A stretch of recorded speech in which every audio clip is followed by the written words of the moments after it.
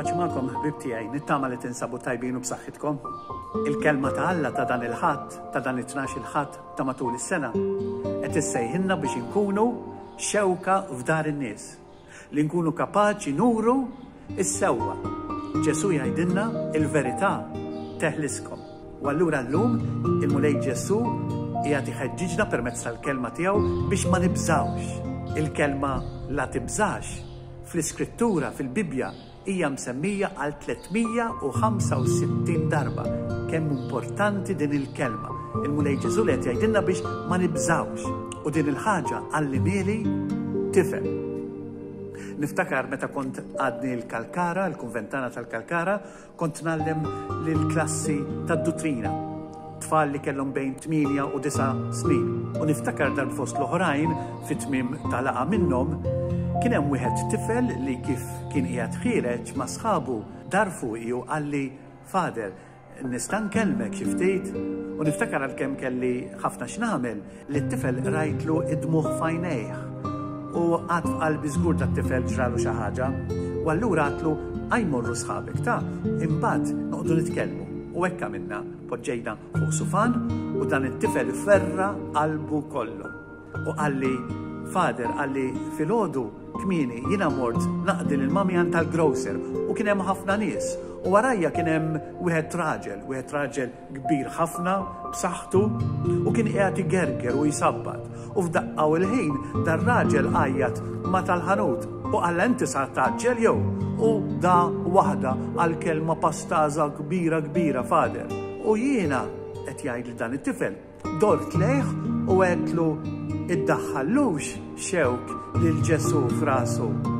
U dak ir-raġel kif sema' lil dan it-tifel żgħir qed iġanfru, lablu daqqa ta' ħarta fuq wiċċu li ma bħala. Dan it-tifel miskin għamel idejh ma' wiċċu beda jorok, jorok wiċċu miskin u beda joħroġlu dmuħu kol għax daqqa ta' raġel ta' adult. Imma dan it-tifel minn flok maran tommu Jugża lil dan ir-raġel, x'għamel? Dar fuq dan ir-raġel li raġa' u qallu, Aħjar tweġġa' lili milli tweġġa' lil Ġesù. U dak ir-raġel ma felaħx għal din il-kelma.